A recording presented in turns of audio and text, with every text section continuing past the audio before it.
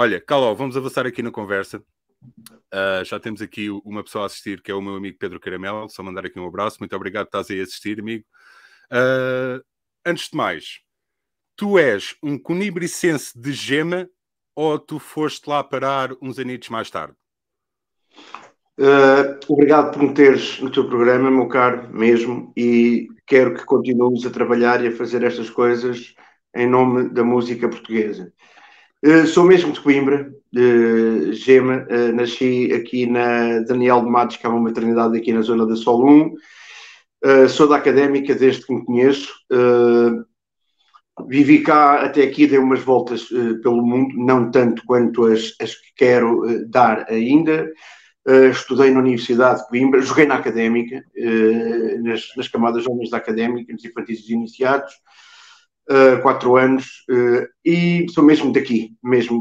hoje vivo a nove minutos de Coimbra, mas sou do bairro Norte de Matos, vivi ali na Sol 1 e vivi na Elísio de Moura. sou mesmo daqui, mesmo. Ok, ok. Eu estou-te a perguntar isto, já, já, já, já te vou explicar porquê. é que eu quero te fazer uma pergunta engraçada. Uh, eu queria. Eu vou já com a pergunta até. É pá, tu, uh, para quem não, não te conhece, um dos teus primeiros projetos, eu sei que não, uh, acho que não foi o teu primeiro, se não estou em erro, mas pá, um projeto bastante icónico onde tu participaste uh, como baterista, que foi o Stadio Boys.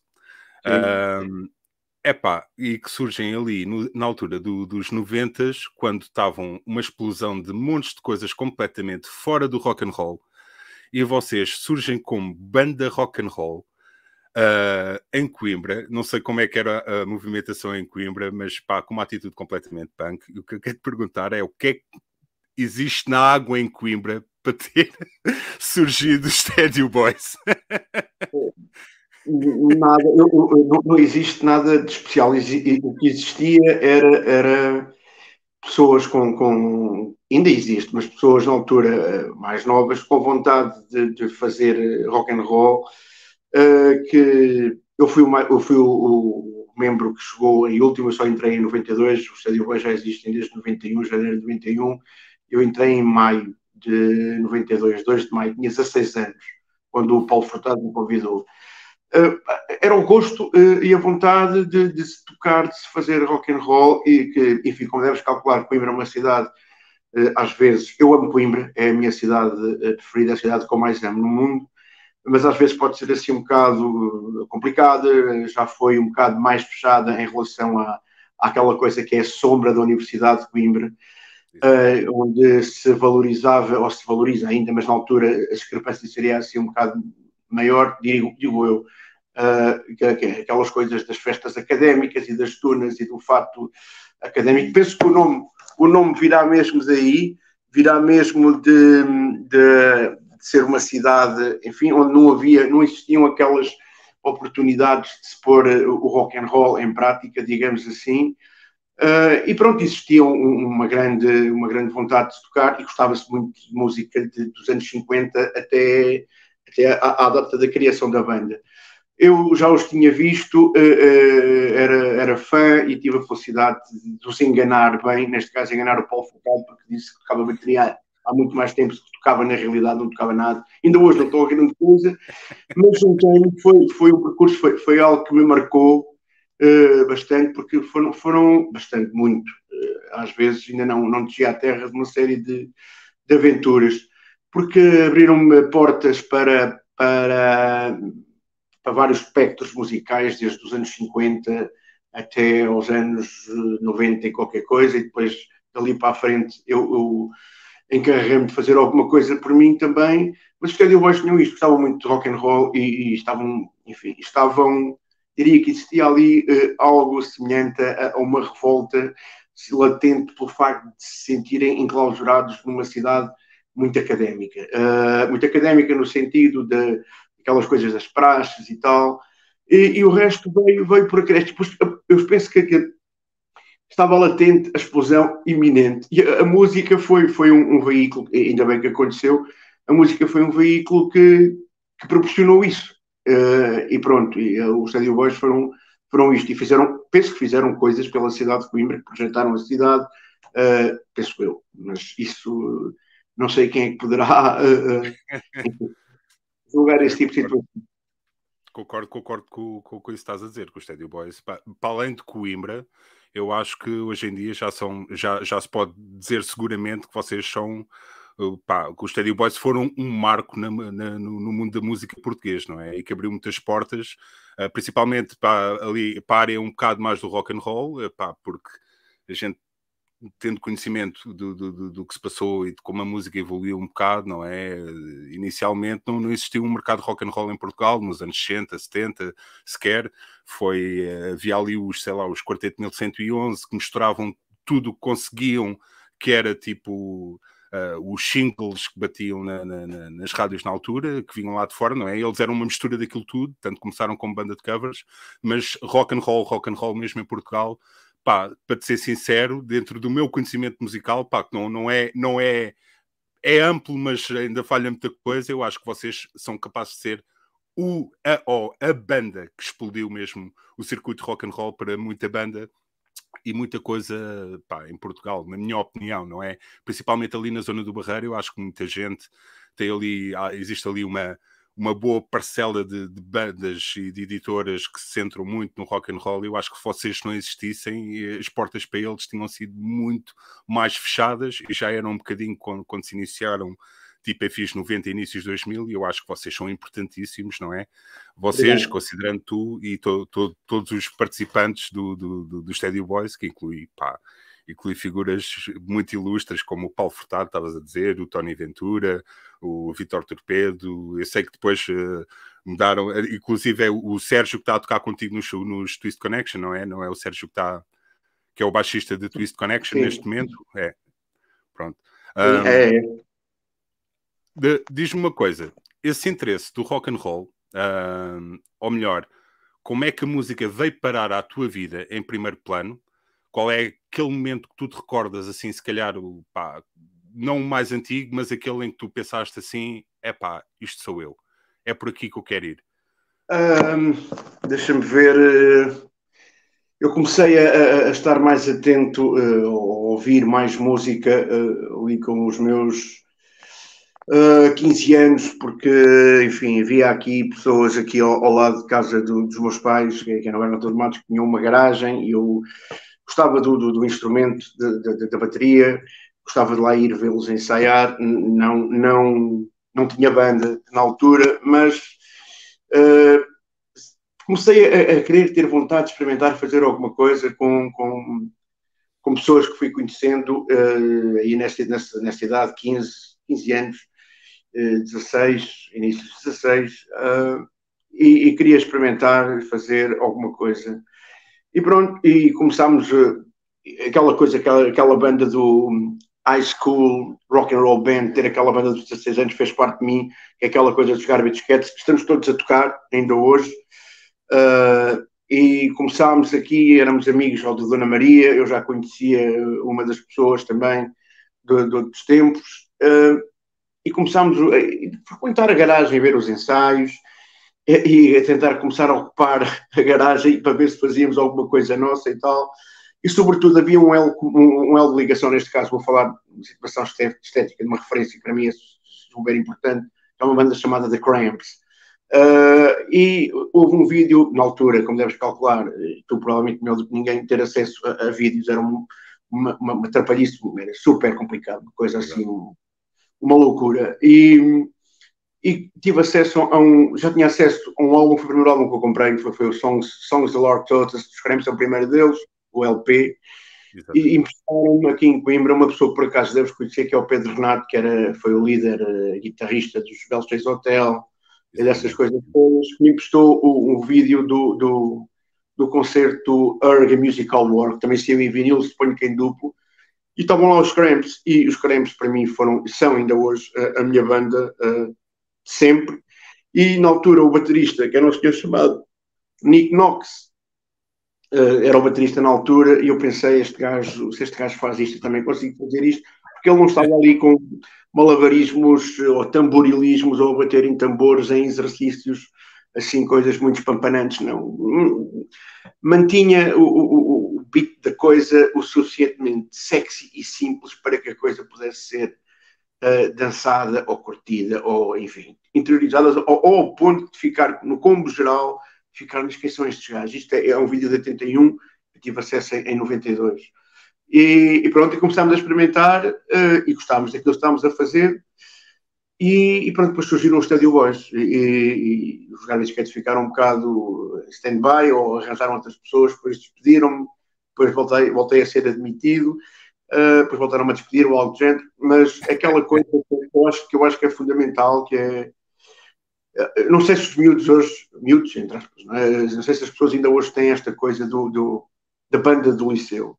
Não sei se hoje provavelmente as coisas serão completamente diferentes. Tem o, os DJs do liceu ou os coletivos de hip hop ou uma coisa qualquer, mas acho que é uma coisa que eu tenho muita saudade e gosto de ter vivido isto, que é ter os 16 anos e ter, eu vou dizer o nome deles, que é o Pedro Chau, dos Gostante, dos Parkinsons, uh, o Miguel Padilha, dos Web Out Beat e o, o português Pedro, que é o Pedro Serra, uh, que inclusive continua extremamente ligado à música, vai agora já, uh, vai lá para fora agora também, para a Espanha, com, com, tem um novo single, Epá, e foi isto, foi isto que me pôs a, a querer. E depois, enfim, descobrir aquele mundo fantástico que era a Praça da República aqui em Coimbra, um café que, que era o Moçambique, que, que era super frequentado por drogados e, e, e traficantes de droga, mas eu, eu, sempre mantive à margem, nunca tive, nunca tive assim inclinação nem nada dessas coisas. Não, e, pá, eu queria era música, percebes? Queria mesmo era a música. E pronto, e foi isso, e, e, foi conhecer pessoas, aquelas coisas ainda da troca de discos e troca de cassetes, e uma série de coisas para, para, para andar para a frente e começar. Então a bateria foi mesmo o teu primeiro instrumento, não, não passaste por, por instrumento mais nenhum? Não sei uh, nada. não sei, não, não, não, consigo, não consigo, consigo fazer alguma coisa, mas nada de é tudo é sempre coisas muito rudimentares. Né? Até eu me canso de ser tão mau quanto. quanto, quanto e vais, mas é verdade. E, e, pronto, mas a passar a bateria foi sempre assim a coisa que eu mais, que eu mais gostei. Ok. Tu, inicialmente, epá, por vídeos que eu, eh, principalmente esta, esta semana, dei-me ao trabalho estar aqui a rever aqui, aproveitei, serviu desculpa para estar a rever aqui uns videozinhos de, de projetos mais antigos teus, incluindo o Stadio Boys, que tem muita coisa neste momento no YouTube, um, é, mas tu costumavas tocar sentado ao início, neste momento não tocas sentado. Como é que é. essa transição ocorreu? Porque eh, isto aconteceu nos Ranch, não, não, não fazia sentido eh, eu tocar eh, sentado lá atrás, sendo eu o gajo que iria tentar cantar, e já, já, já essa coisa de estar sentado a cantar a bateria, acho que é chato.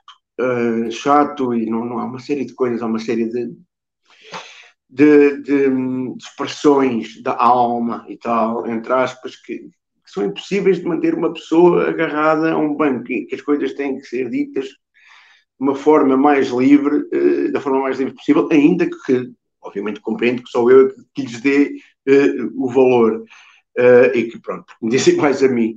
Mas não, não, não, nem esteticamente não, não, não me parecia, não parecia, enfim, que fizesse grande sentido isso e como tal, a frente do palco e vamos fazer isto comigo em pé. Não é inédito, Uh, ainda há pouco tempo estava a ver um, uma entrevista nos 60 minutos do Brian César, também vi no YouTube, que é o gajo do Stray Cats, em que ele disse.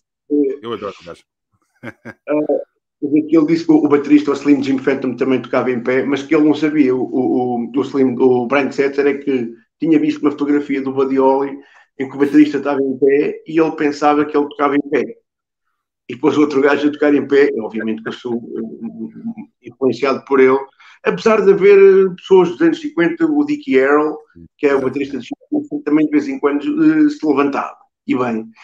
Um, mas pronto, e, pá, só fazia sentido visto desta maneira. E depois era aquela coisa de, de, uma vez nos Estados Unidos, penso que foi no Rock and Roll Fame, que vi um, um documentário, nunca mais voltei a ver, assim uma coisa curta em que o Iggy Pop dizia que as pessoas que o fizeram cantar uh, foi o Lou Reed e o Mick Jagger. E porquê? Porque ele ouvia-os e dizia: Este gajo não sabe cantar, este gajo não sabe cantar, eu também não sei cantar, portanto vamos todos cantar. E não tive medo, e, e pronto, e comecei a fazer as figuras que ainda faço hoje, que é estar à frente do microfone a, a cantar ou a tentar fazer por isso uh, e a tocar bateria ao mesmo tempo.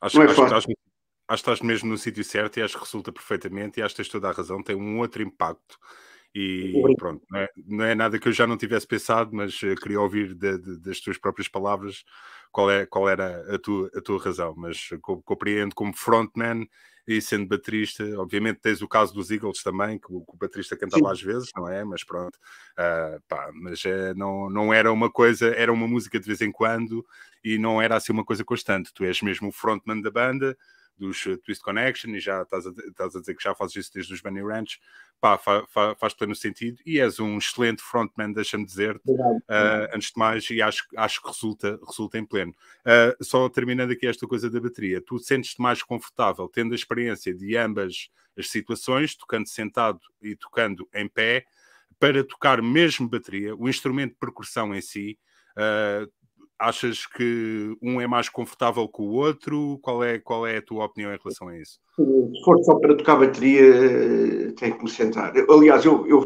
participei durante uh, dois anos ou três ou, com os Dirty Train, uma banda que eu gosto e tocava sentado. E estavam lá atrás e eu não chatei ninguém. Uh, por não chatear ninguém mesmo. Mas quando as coisas são, pronto, são esta coisa de eu assumir mais o microfone, uma coisa qualquer, faço, mas faço em pé. Agora, para tocar, uh, é sentado.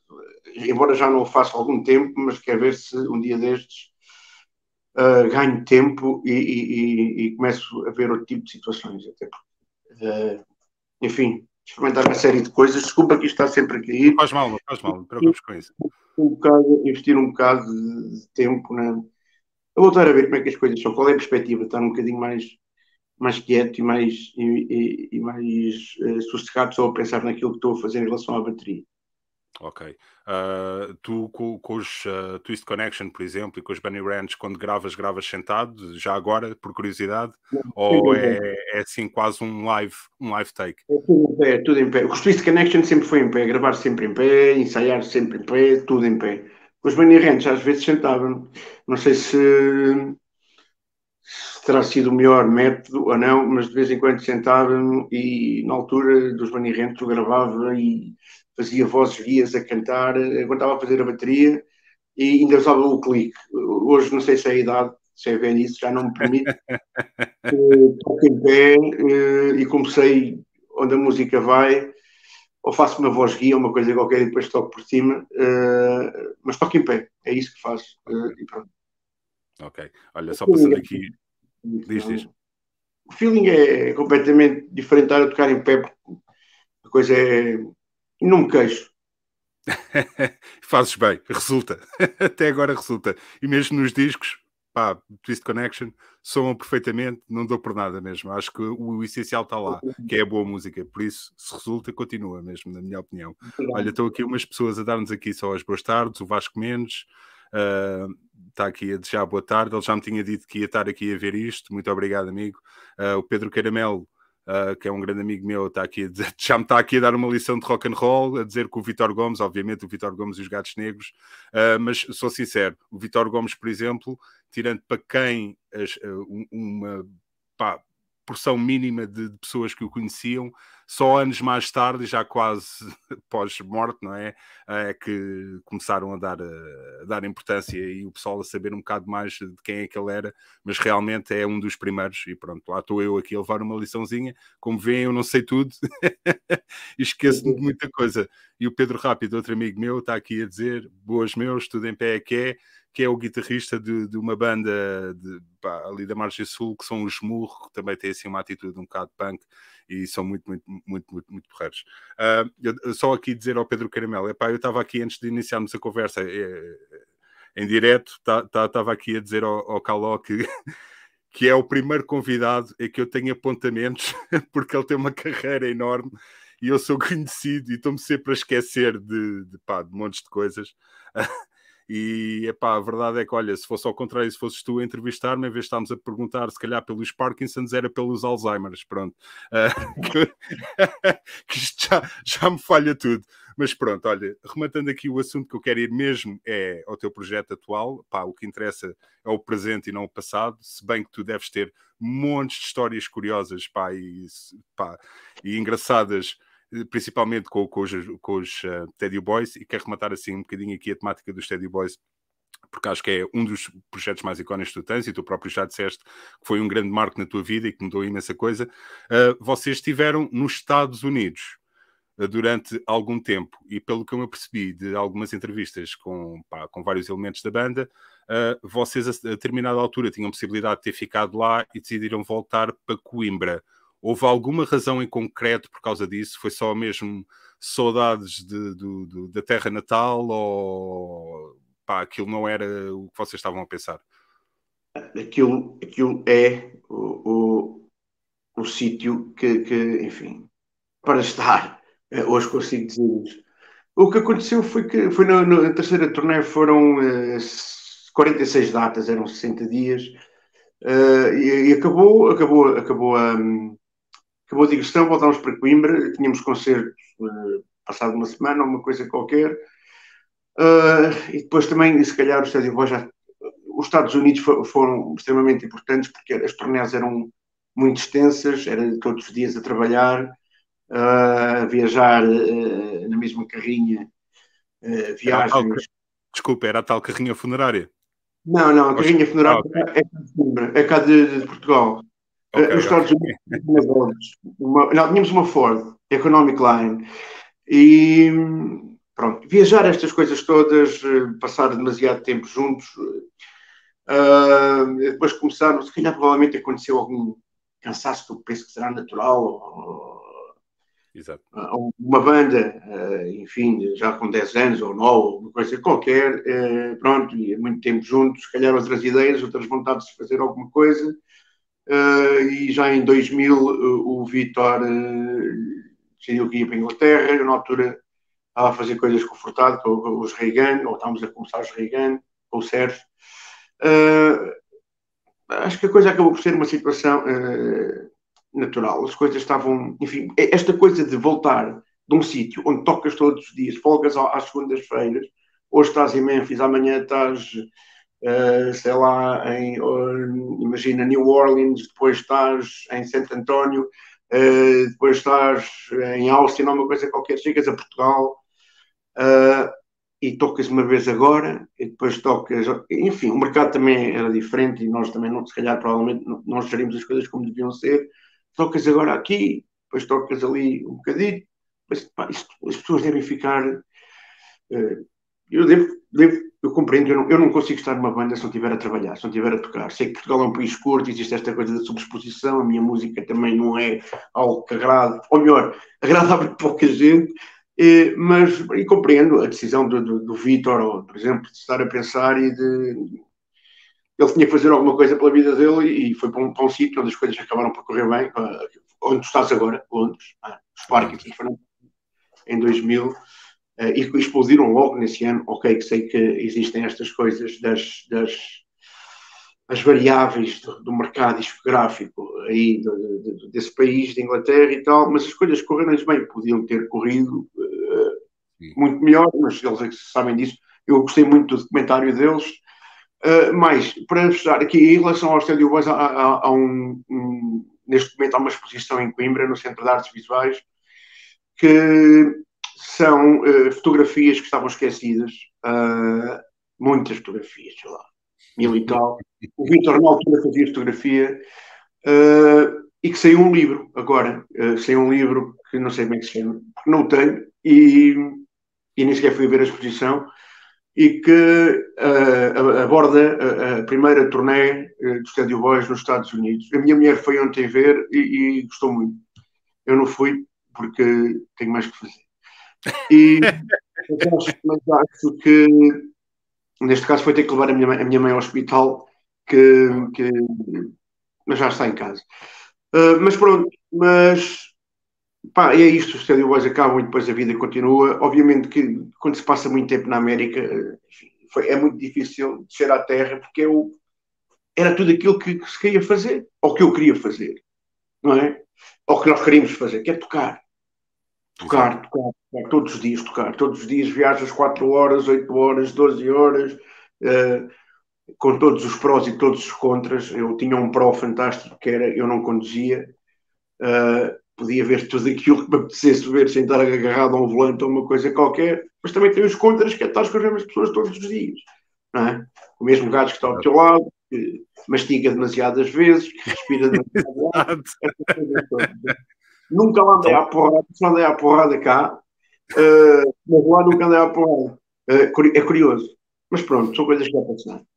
Ok, é normal, é normal. Um gajo quando passa demasiado tempo juntos, mesmo seja com amigos, com a família, é isso que tu estavas a dizer. E um amigo meu também dizia isso há, há bem pouco tempo no outro podcast, que era a mesma coisa. Um gajo chega a um ponto e, epá, tu estás a respirar demasiado alto aqui ao meu lado. epá, e, e entra naquele efeito Big Brother, porque é demasiado tempo, sempre, sempre, quase 24 horas, sobre 24 horas com as mesmas pessoas. Muito bem que um gajo se dê, não é?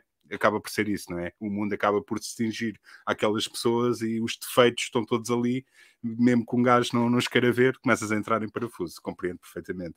Um, tu tens, tens alguma, sei lá, tens aquele sentimento às vezes, pá, não sei se fiz bem em ter saído dos Estados Unidos em relação a termos profissionais musicais, ou, ou pensas foi o que foi, valeu pelo que valeu na altura, tive essa experiência e agora tipo.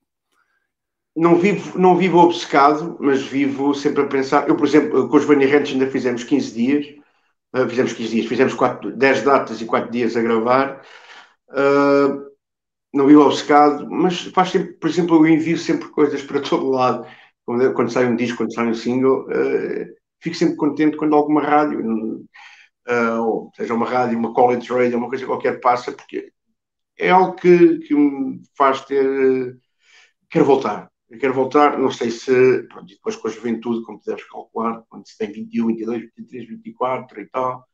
Uh, ok, trabalhas todas as noites, mas estás todas as noites em festa. A festa é que não pode parar a seguir ao concerto. Uh, e Agora, provavelmente agora aos 47 anos não me aguentava. Provavelmente não. Não, não, não com aquele estilo de vida, eh, nem quatro dias. Eu aguentava uma coisa daquelas. Ah, vocês eram uh, bastante intensos em palco. Hum? Vocês eram bastante intensos em palco. Aliás, vocês eram um bocado mais punk do que o próprio punk em Portugal, digo eu. Eram é. uma coisa bastante ah, energética. É. Isso, isso, isso, era também assim, às vezes, um bocado planeado. Eu sei aquela história de que vocês deram um concerto, o famoso concerto em Coimbra, que vocês tocaram todos nus. Uh, às vezes era um bocado planeado ou era assim um bocado, é pá, olha, vamos fazer isto agora e. e... Esse foi planeado, Coimbra foi planeado, mas o resto uh, não era planeado. Não, não era, era planeado. Tudo o feeling do momento. Uh, a última vez que fizeram planos foi o, o, o Vitor Torpedo fez 46 datas, a segunda, em 99 foi a segunda, a segunda manga da tour, era no sul, a abrir para o Southern Culture on the Skids, Deep South, só Texas, Alabama, Louisiana, essas coisas todas, e ele usou sempre as mesmas calças, sempre. não para quieto em, em palco. Então ele combinou com o Tony. O último concerto é que nós fizemos Memphis, Nova York, porque íamos tocar no Continental em Nova York porque era suposto alguém, o John Spencer, ver-nos a, a, a ver-nos porque queríamos ser produzidos por ele, o próximo álbum e tal, nunca chegou a acontecer. E eles tinham combinado, porque imagina o estado das calças. Eles tinham combinado pegar fogo às calças. Só que as calças, obviamente ele já estava todo nu em cima do palco, as calças cheiravam tão mal que andaram ali a passar as calças um para o outro e não conseguiram uh, pegar fogo àquilo. Mas foi, o último plano de Estádio Vasco, eu lembro deles, fazerem alguma coisa do género. Eu tinha o privilégio de ver isto tudo de trás e pronto, e não, não me ri, olha, uh, ah, bem. Uh, e pronto, e depois, enfim, já está, já passou, uh, já está, foi bom. E em relação aos Estados Unidos, faço sempre, gosto sempre de pensar que está lá para breve alguma coisa, mas não está, no momento não está nada lamentavelmente, porque pá, dá para ver que é mesmo é mesmo o teu meio e, pá, e sabendo que o rock and roll se gera de lá ainda por cima, não é? E tem um mercado enorme, pá, é... mas pá, nunca se sabe. Continua, continua, não insiste, insiste, pá, porque eu, Eu sou suspeito porque eu adoro o vosso som, não é? E, e sendo fã da banda é uma opinião um bocado já influenciada, não é? Mas pronto, uh, e a relação a isso, é pá, se não conhece ainda o novo álbum dos, dos de Twist Connection, que é o projeto mais recente aqui do Caló, pá, que, que se chama Anywhere But Here, não sei se está relacionado um bocado com essa temática de, pá, às vezes gostava de estar no outro lado e não nesta realidade. Sim, uh, mas, realidade... sim, sim, diz, desculpa. Pós-pandémica, guerras e às vezes também ficamos, ou eu, fico assim um bocado mais eh, preso de forma imaterial, preso, preso na minha mente. Às vezes um gajo passa demasiado tempo uh, fechado uh, a pensar ou em determinado tipo de situações e às vezes, às vezes a, a, mente pode ser uma prisão em si própria e que é melhor pensarmos que existem mais caminhos e mais, e mais sítios para estar e mais estrada para andar, seja ela qual for. E o Anywhere But Here vem, vem por aí, não é? Acaba-se uma pandemia, tens uma guerra e depois tens uma série de coisas. E o que é que vai ser disto? O que é que vai ser de mim? O que é que vai ser de nós? O que é que será o futuro? Mas é melhor estar noutro sítio do que estar uh, uh, a ruminar, entre aspas, ou a, a, projetar, ou a ver as coisas cada vez a ficarem menos coloridas. Portanto, significa partir desta para outra. Mas para a frente. Parar agora é que não vai dar. Ou seja, no sentido o presente é que vale, por muito bom que o passado tenha sido e por muito bom que o é sítio onde a gente esteja, o mundo é, é enorme e é, é, um bocado essa ideia. Não, não vale a pena estarmos aqui encalhados na, na, nas coisas piores e vamos, vamos procurar pelo melhor que não falta para isso são coisas boas. Gosto da ideia. Gosto da ideia. Já me tinha percebido isso, mais ou menos, tendo pá, tendo dado uma vista de olhos nas letras, ainda não tive oportunidade de encomendar o disco. Já agora, para quem não sabe, se alguém quiser uh, encomendar o disco, o disco é da Lux Records ainda é. ou tem, tem, outra editora? É da Lux, pronto.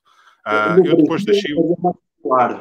No Brasil é da Maxilar, mas uh, ainda não há edição física lá por causa da pandemia. Houve o quê? Houve aqueles atrasos de acesso à matéria-prima mas no Brasil saiu pela Maxilar, que é a editora do Gabriel Tomás, que é um cara legal, que é o, a venda dele se chama Autoramos. Ah, eu conheço o nome. Conheço. Sousa Autoramos, é... sim, a editora dele. Ok. Tem que, tem que checar então isso. Uh, eu depois deixei uns links, deixei uns links no, no, no vídeo no YouTube e também no, no, Facebook para se tiverem interesse.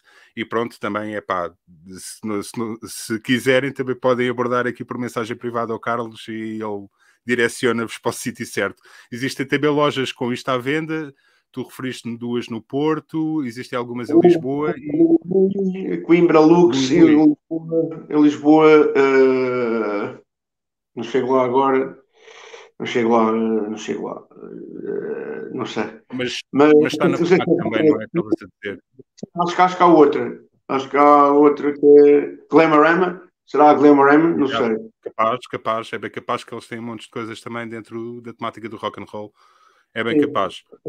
Ok, uh, vamos então passar aqui, uh, finalmente, aos The Twist Connection. Uh, os The Twist Connection neste momento estão, são um trio, não é? E inclui o, o Sérgio, que também fez parte do, do Stadio Boys, uh, e tem-se o Samuel na guitarra, pá, que fez parte de, de, várias bandas, incluindo os Sonic Reverence, que é que que eu me recordo mais, pá, que, que também é uma de, de, das bandas que eu curto mais. Uh, como é que se dá uh, a gênese do, do, dos The Twist Connection? E eu sei que existe, já vi aí, não sei se foi com a Sandrinha Pinto, tu falaste, já não me lembro, mas contaste uma história que até tinha a ver com uma situação do Stadio Boys, se não estou em erro, de onde originou o nome. Como é que Sim. surge a banda e como é que surge o nome? A banda surge. Eu estava a tocar com os Dirty Coltrane e comecei a ter saudades de começar uma banda de raiz e de fazer parte. Eu, eu adoro o Ricardo e a Beatriz, gente, das melhores pessoas que conheci uh, na música, no rock and roll em Portugal, foram estas duas pessoas, Ricardo Ramos e, a, e a, e a Beatriz uh, Rodrigues. E pá, pensei que se calhar era a altura de começar alguma coisa minha. Uh, Uh, voltar outra vez ao, ao princípio, sem, sem, sem, grandes sofrimentos, sem estar uh, isto vai custar tanto outra vez e tal. E o Samuel, na altura, que também penso que o, o Diogo dos Jack Sheets tinha ido para. Uh, foi para a Escócia trabalhar, uh, viver, trabalhar. O, Samuel estava momentaneamente sem banda, eu estava sem banda. Ele era uma pessoa disponível em Coimbra e era alguém com quem eu me identificava esteticamente falando. E convidei-o e começámos os dois. Juntou-se um baixista que, entretanto, saiu, teve meio ano na banda, algo do género. E, e, depois entrou o Sérgio. O Sérgio entrou em outubro também, enfim, não sei, numa fase de menos menos trabalho, com os Reagan, não sei, não sei em que fase se encontram. Uh, e convidámos, convidámos o Sérgio e o Samuel, convidámos o Sérgio. O primeiro álbum é gravado sem ele.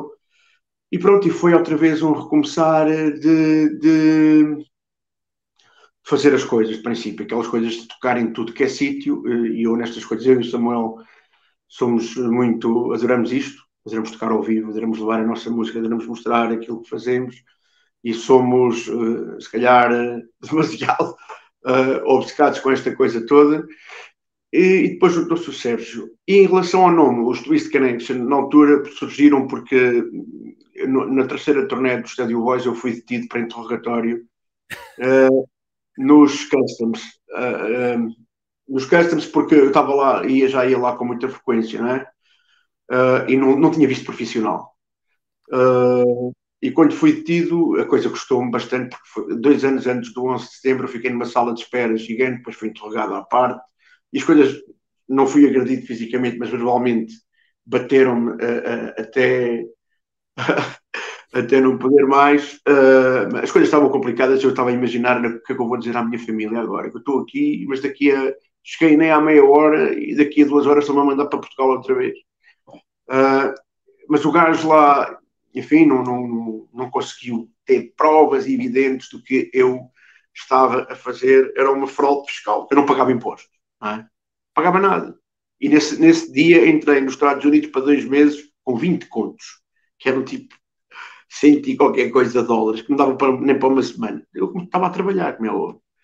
Uh, pronto, e as coisas foram assim um bocado complicadas e a seguir puseram-me cá fora, a mim e a outra pessoa que ficou uh, comigo, e disseram: olha, você pode passar agora, vai, mas vai falar com o vosso manager, porque é a última vez que passa. Está bem, então. E, e quando fomos com os Bunny Rands, passado 7 ou 8 anos, havia uma coisa chamada MySpace e nós tínhamos lá as datas todas que íamos fazer, 10 datas Exato. e tal. E eu avisei a rapaziada que, que pá, quando chegámos à fronteira, quando chegámos à alfândega, a primeira coisa que vamos dizer é quando nos perguntarem o nome, nós fomos os Twist Connection, porque não existia nada. E eles entraram primeiro e não lhe perguntaram nada. Eu, como já era, uh, já nós tinha dado várias vezes, fizeram, não fui detido, mas fizeram-me estar parado ali onde, está, onde estão aquelas caras que estão a passar de gajos procurados. Estou no computador, mas tu vês o reflexo. E o que é que eu estava lá a fazer, e como é que eu me chamava, e quando tinha sido a última vez, e como é que se chama a tua banda. Eu disse Twist Connects. E o gajo foi procurar e obviamente não encontrou nada. E depois, quando surgiu outra coisa, lembrei-me porque é que não são, porque que não vão ser agora os Twist? Não chegou a altura de ser os Twist e somos os Twist Canex. E pronto, já vamos no quarto álbum com isto não? Uh, com, vocês tiveram, chegaram a ser um quarteto com, com a Raquel Ralha, também fez parte do, dos Belchase Hotel e dos Reagan. Um, Houve alguma razão pela qual ela saiu sem ser uma razão individual ou foi um, algo assim dentro do campo mais artístico? demasiado estúpido, provavelmente, eh, porque, enfim, eh, eu levo as coisas todas assim muito, muito a sério e às vezes poderia ter acontecido. Raquel continuava envolvida em vários projetos e, e às vezes poderiam surgir algum tipo de incompatibilidades. A Raquel, para mim, é a pessoa mais canta. É?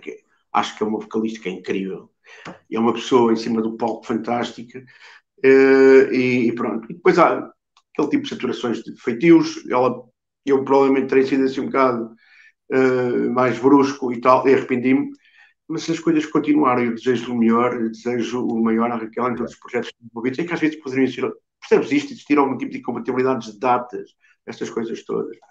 E pronto, fez assim um gesto assim um bocado mais brusco, uh, arrependi-me, já pedi desculpas e é uma, é uma belíssima amiga que eu tenho hoje uh, e de quem sou fã. Também sou fã da Raquel, a Raquel é, é o que estavas a dizer.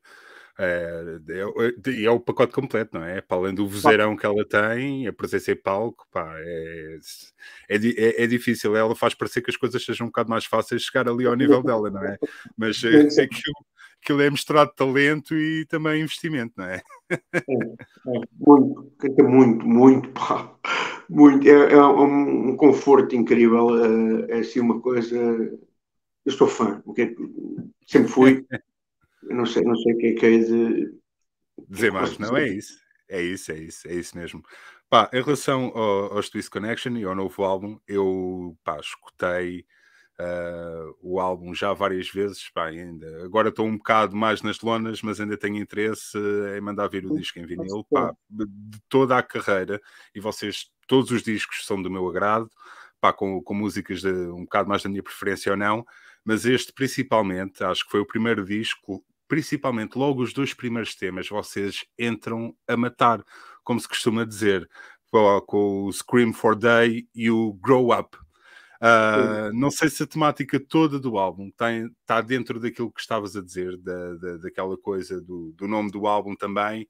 Uh, existe aqui, há, há, és tu que escreves as letras, Uh, existe aqui alguma intenção mesmo de, em termos de letras, de manifestares o teu descontentamento com o mercado musical também hoje em dia, em comparação, principalmente em comparação àquilo que tu viveste há uns anos atrás, não é? Que já vem de, desde os anos 90 e agora, ou é assim um bocado mais pessoal, a nível mais pessoal e com várias temáticas? É, é mais pessoal eh, e está relacionado com uma série de temáticas, com uma série de.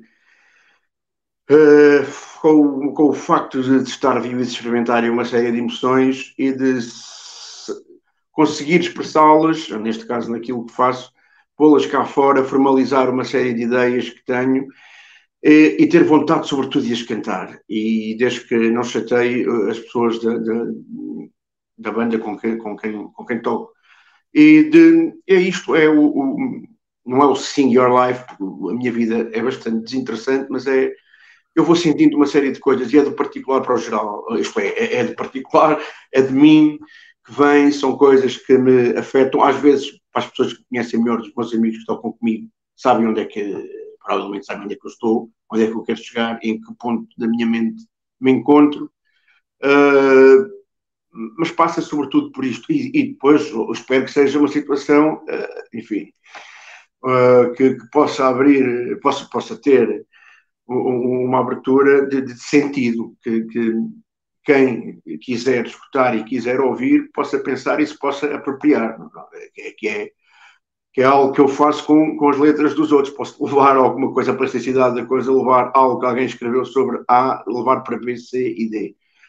Quer ser honesto comigo. Se não for honesto comigo, não faço nada. Não ando aqui a cantar uh, coisas que não me dizem rigorosamente nada, ou porque sou incompetente, ou porque não as sinto como devia sentir e que não me dão eh, vontade de pensar. Eu não sou todo poeta por estas coisas todas. Isto é, sou um gajo que, que, que junta, que junta o, o, lixo que tem e, e, e vai tentando formalizar e, e, fazer com que a coisa um, me dê gozo.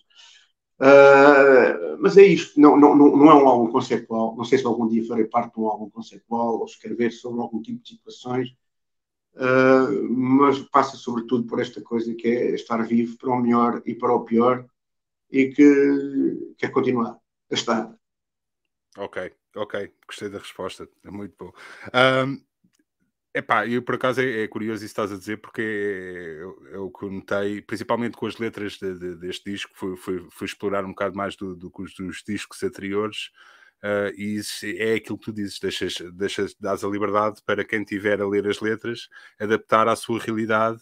Epá, e há aqui letras quase, por exemplo, uh, pá, o Grow Up uh, e o Anywhere But Here são duas letras que eu consigo adaptar à minha vivência nestes últimos anos perfeitamente, quase foram escritas à minha medida, entre aspas, mas consigo perceber-te do meu ponto de vista, pá, eu acho que isso é o que cada músico devia fazer, não é? Seja com letras, seja a nível vocal, mesmo sem letra, seja só música abstrata, pá, acho que é isso, de, de manter esse espaço é bastante importante e sei lá, acho que hoje em dia tudo o que seja assim um bocado mais comercial ou mais aceitável, que vocês são uma banda que ainda passa um pouco na rádio, uh, que é uma coisa bastante difícil, não é?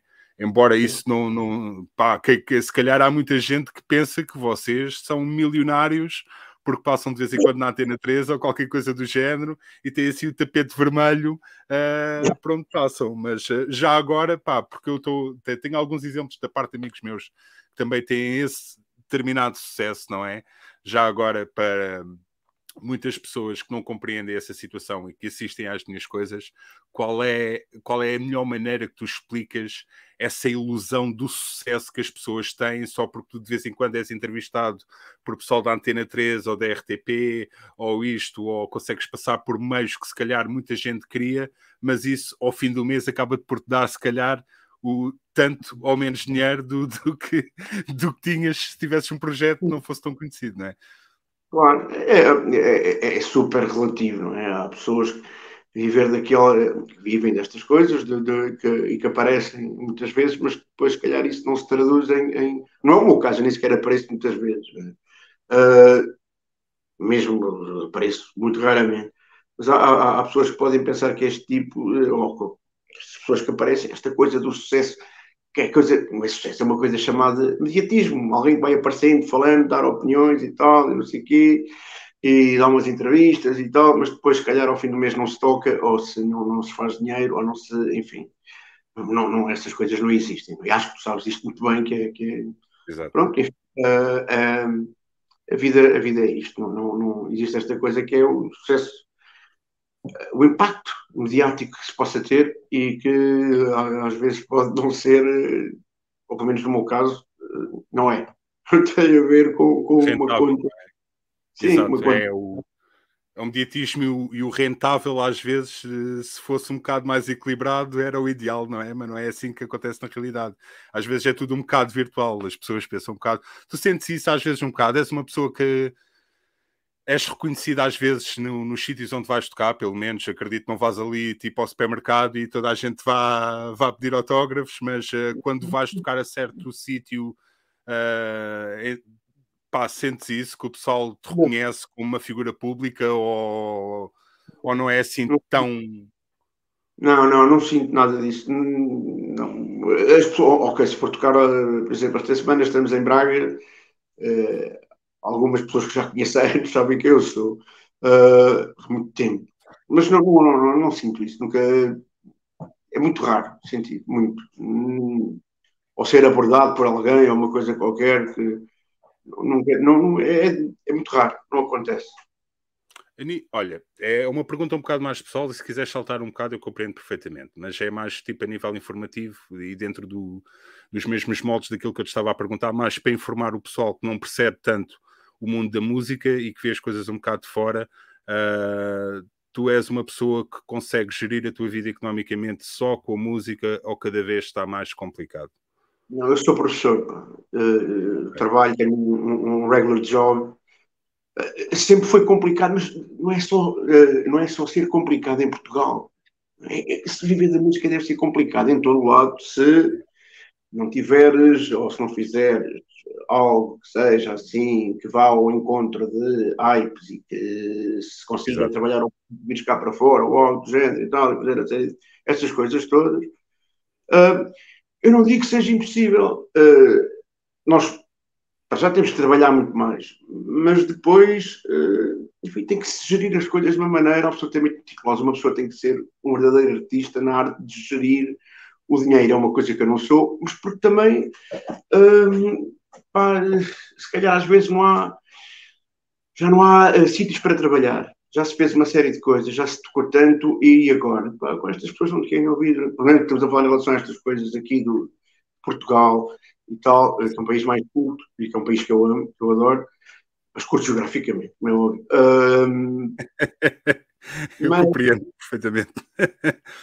eu compreendo que, que, que e, e, acho que é bastante plausível pessoas que, que, que consigam viver da música cá. Não, não, agora, eu, é difícil o tipo de música que se faz, uh, enfim, é, é, ia ser complicado pelo tipo de caixas, não somos uma banda nada cara, uh, bem pelo contrário.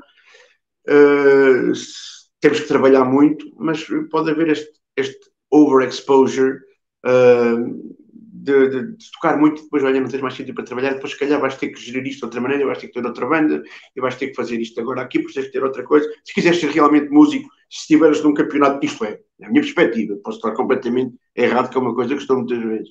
Uh, se quiseres realmente ser músico, não podes ficar, em Portugal, não podes ficar, digo eu, e se fizeres parte deste tipo de situações, neste caso de estéticas um bocado de maior espectro, não, não, tens que ser um artista mesmo da, da gestão daquilo que fazes, não é o meu caso, e que ser aberto a uma série de situações e estar preparado para, se calhar, fazer muitos fretes, que é uma coisa que eu não faço. Uh, e pronto. E também não, nem sequer estou interessado em ter vários projetos De maneira que, felizmente, uh, fui, fui-me acautelando e fui tentando, e depois, olha, estou, estou aqui e não, para já não me posso queixar. Para já. Mas não sei dia Exato, exato.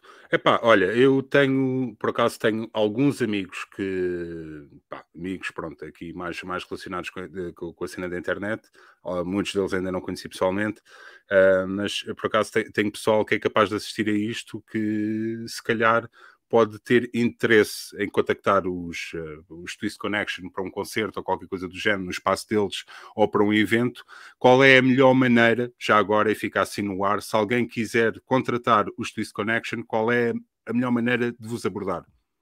Uh, então os contactos estão todos no Facebook ou no Instagram, ou está tudo lá.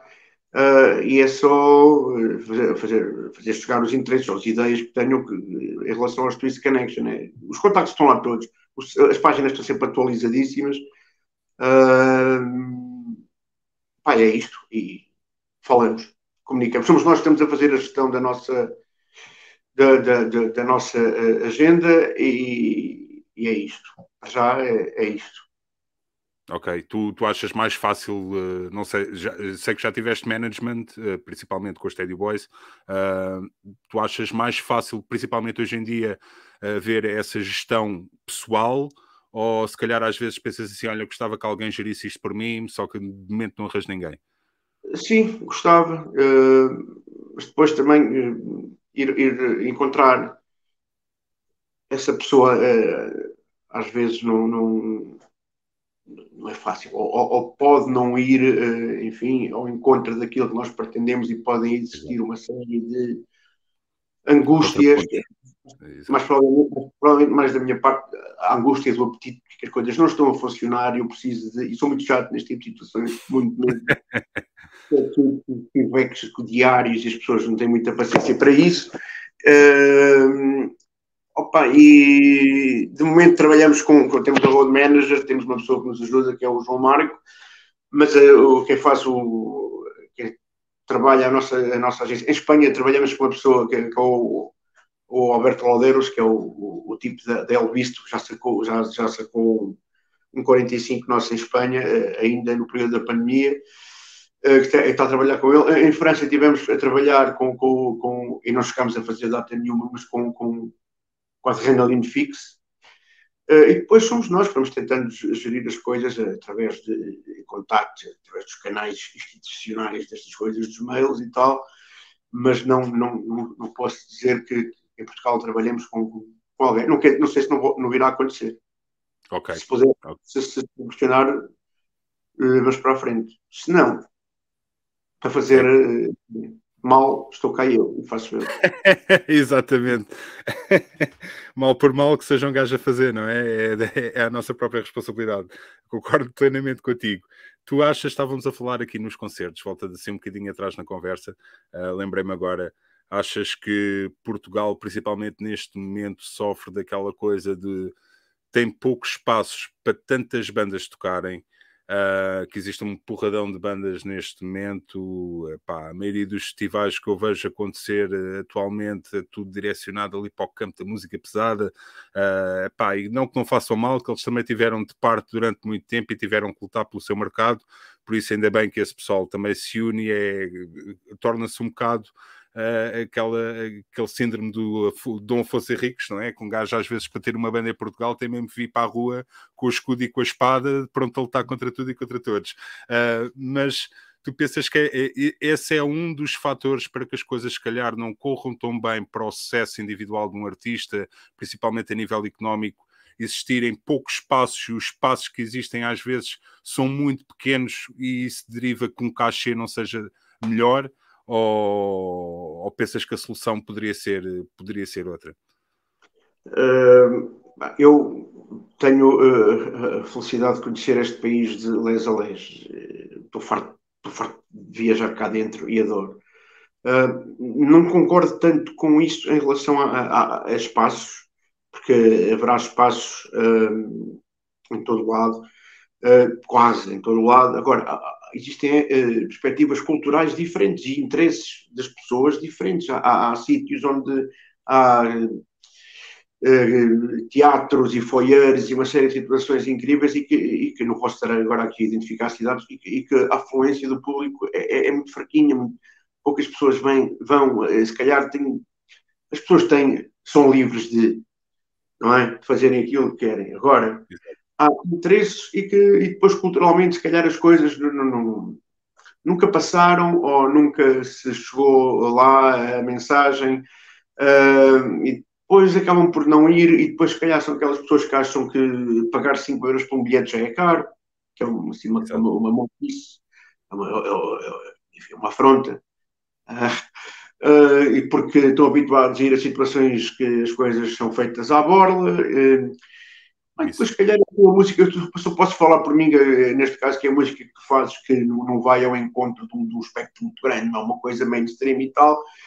Mas se houvesse, e, e repara, Portugal tem cada vez mais universidades, é? E eh, as college towns, como college radios, estas coisas todas, uh, poderiam ser um, um, bom suporte, eu falo em relação à minha cidade, um bom suporte uh, de, de, de, de, afluência de público, de audiência, de pessoas que vão ver, e às vezes não é assim, mas tem a ver com culturas, com tempo, com valores, uh, e as pessoas acabam por preferir outro tipo de situações. Pelo menos cá em Coimbra, às vezes as pessoas gostam mais é de shots e andar uh, ali a ouvir reggaetons e essas coisas todas.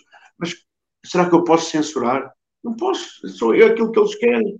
A educação ou a cultura, isto está aí ao alcance de cada um. Ainda por cima agora com a net, a massificação e estas coisas todas, todos nós temos acesso a tudo. Uh, mais, por exemplo, há coisas que eu reparo que é, eu vou, vou o ano passado fiquei em paredes de cor, vejo aquelas pessoas todas e tal, não sei o quê. Onde é que essas pessoas se enfiam durante o resto do ano? Porquê é que não vão, porquê é que não vão a salas de espetáculo pequenas ver esta coisa da experiência de ver um concerto? Não é? Porquê? É, parece que se escondem, depois vêm aquelas coisas, é como aquelas senhoras portuguesas que vão a Coarrela uh, para aparecer, e aparecem na nova gente e aparecem não sei aonde, mas não têm rigorosamente nada a ver com aquilo, elas querem ver como é que estão vestidos os outros e essas coisas todas e, e fazer coisas do Instagram.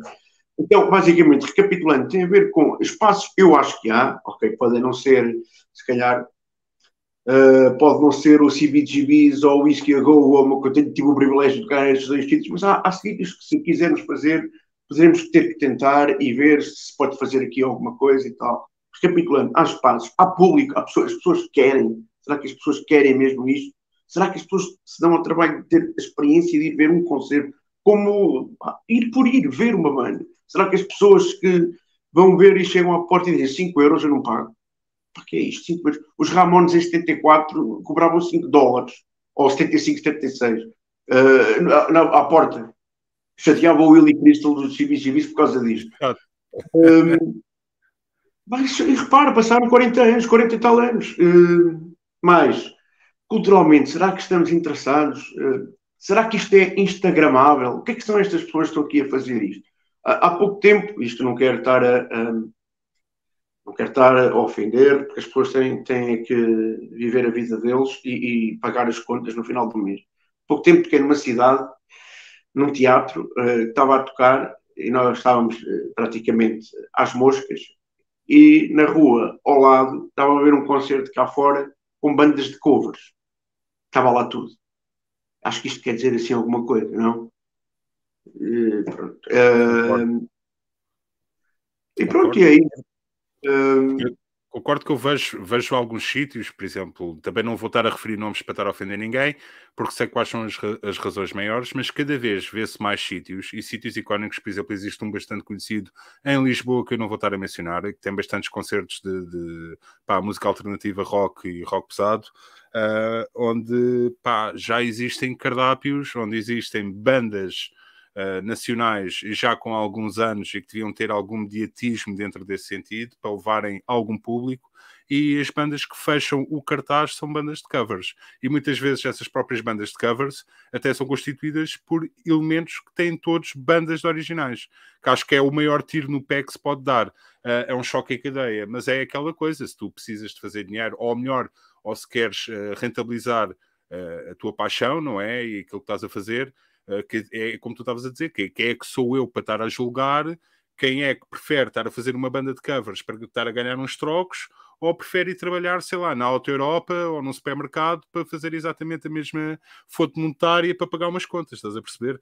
Uh, acabas por ter que defender de certa maneira, mas concordo contigo nesse sentido, é, são vários fatores, epá, simplesmente... Uh, falando, eu digo isto em, todos os podcasts que tenho feito, pá, isto, pá, pessoal, não levem a, a, peito a nada e nós não somos os chapchões e a nossa opinião é, é, é, única, exclusiva. Isto é a minha opinião, neste caso é a tua opinião, tu é que és o convidado do, do aqui do podcast, epá, e convém ter essa noção quando tiverem a assistir a isto, que isto não é, uh, são as nossas opiniões e de acordo com as nossas experiências pessoais, ok? Um, para o pessoal a coisa. Eh, tu estavas a mencionar aí Coimbra. Uh, eu sei que já desde o Stadio Boys, e para ti, se calhar antes disso, porque já tinhas bandas, uh, havia sempre aquela coisa de para quem controla, eu, eu, tenho essa informação de entrevistas, etc, etc, quem controla um bocado o mercado em termos culturais é ali a Faculdade de, de, de Coimbra, não é? Uh, tudo passa ali um bocado, principalmente queimas das fitas e coisas do género, tu sentes que ainda existe um bocado de falta de apoio da Câmara em relação aos projetos da cidade a nível cultural ou já se expandiu um bocado mais nesse sentido?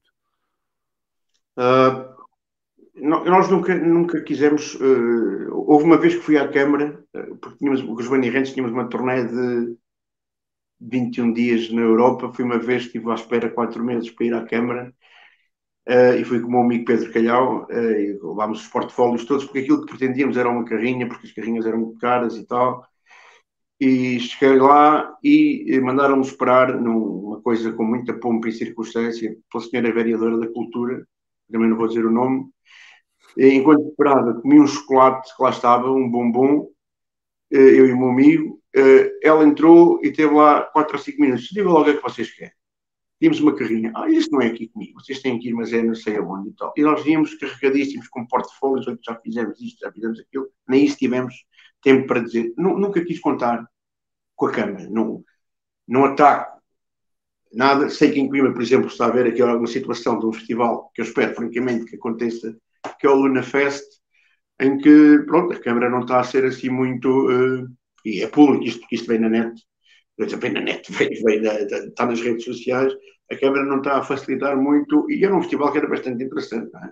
para o verão, não sei se já ouviste falar disto, do festival, que é o Luna Fest. Sim, uh, sim, sim, sim. Uh, mas nunca mais houve informação, sim, está, está um bocado no ar, sim. Sim, mas se calhar, uh, pronto, pá, eu não posso falar porque eu nunca andei, ou nunca, não, nunca tentei ter com que, ou fazer com que a Câmara enfim, apoiasse aquilo onde eu estivesse uh, inserido. Uh, os meus contactos com a Câmara neste momento são uh, enviar, enfim, propostas para concertos em festas da cidade ou algo do género, mas pá, nunca fui. Agora, há pessoas que se calhar podem queixar, sim, acabei de dar agora aqui um exemplo, eh, pode acontecer, e há pessoas que podem dizer, ok, estamos bem aqui nesta cidade porque estes tipos apoiam e porque nós somos o, a marca que distingue esta coisa da cidade, e também não tenho rigorosamente nada contra o fato, nada. Mas pronto, agora eu não consigo uh, pensar nisso de forma, assim, ir ao encontro da tua, da tua pergunta, que é câmara, isto, pá, nunca tentei.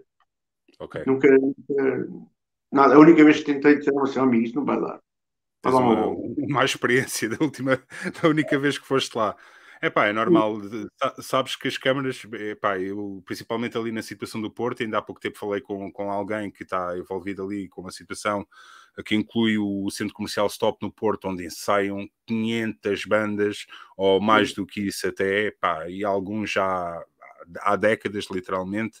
Uh, e cada vez mais, já só falar muito nisso, cada vez mais uh, a, a, Câmara está a apertar o cerco no sentido de pá, vender aquilo a alguém, e se for para vender aquilo a alguém é para deitar abaixo e construir ali um hotel eh, de 5 estrelas se for necessário para, para, o turismo, estás a perceber? Uh, por isso acho, acho, acho que a nível de apoio de câmaras em Portugal, pá, e, e, eu também já tive algumas bandas, também sou sincero, nem eu nem os meus amigos que seguiram realmente música, porque eu sempre nunca passei ali do circuito de bandas de garagem, nunca fomos muito ao apoio das câmaras. Era como tu dizias no início da conversa, e tinhas um certo saudosismo em relação a isso, a essa atitude. Era um bocado ali os liceus, uh, pá, e certos circuitos. Eu era mais ou menos ali da linha de Sintra, área de Lisboa, também havia algumas casas ocupadas onde um gajo podia fazer uns concertos, era tudo assim um bocado muito do it yourself, estás a perceber? Uh, mas lá está, era, é, é, era quando um gajo era puto, tinha pá, sei lá, 16, 17 anos e não estava a pensar sequer ganhar um tusto com a música, muitas vezes até tocávamos à borla. Eu sei que vocês eh, chegaram a tocar algumas vezes já à borla. Uh, vocês, quer dizer, os Stadio Boys, tipo há uns anos atrás, chegaram a tocar algumas vezes já à borla uh, em, em, na, exatamente na rua. Isso foi um bocado intro, intrometerem-se uh, uh, ou tipo meio Beatles irem tocar para o telhado sem ninguém saber e tocar andar ou de, tinha algum Não. planeamento por trás?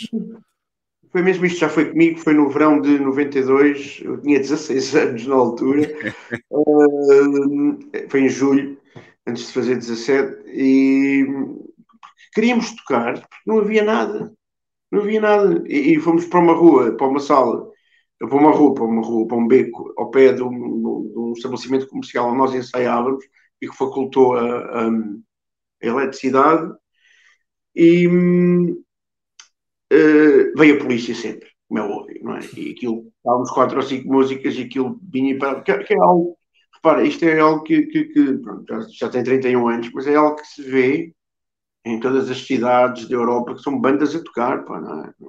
E Coimbra tem muitas bandas a tocar hoje eh, em dia, são tunas, não sei se são bandas, são tunas, não é? É uma marca assim da cidade e tal.